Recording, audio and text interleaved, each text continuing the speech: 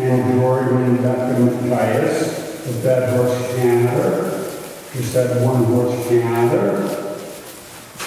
I don't care what lead, I don't care what lead.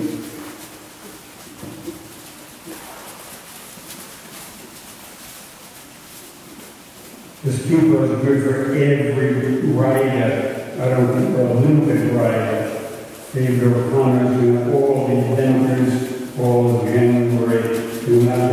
locking stirrups away. You're not going stirrups. Go ahead, Katie, legs up in front of the saddle, him. That's it. There's what I want.